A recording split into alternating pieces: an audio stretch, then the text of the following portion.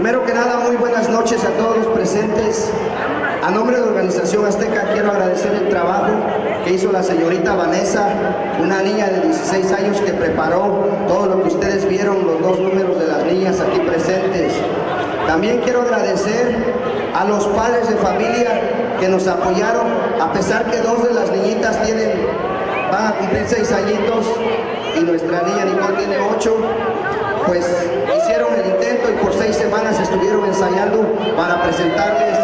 hoy un bonito espectáculo. Antes de que anunciemos las ganadoras, para nosotros en Organización Azteca, las ganadoras son todas por el esfuerzo y dedicación que hicieron durante seis domingos de ensayo. Para nosotros en Organización Azteca, cuando todas las otras organizaciones usan el carnaval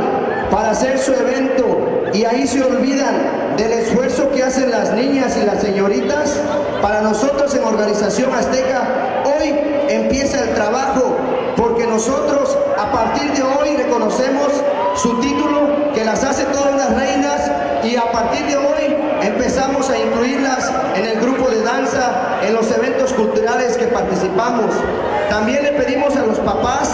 que hagan un poquito de conciencia, señores. Estamos en este país donde quizás el día de mañana ya no estemos y el legado que le vamos a dejar a estas niñas va a ser que ustedes quieren que ellas, nacidas acá, aprendan lo bonito de sus tradiciones, de su cultura. Señores, nosotros como organizadores tratamos de hacerlo, pero los eventos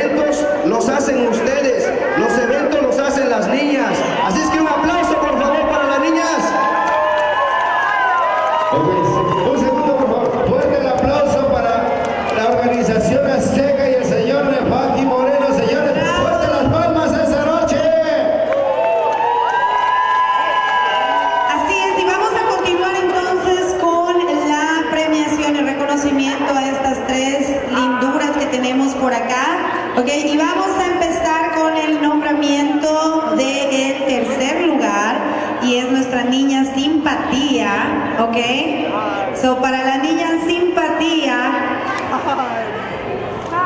Tan, tan, tan,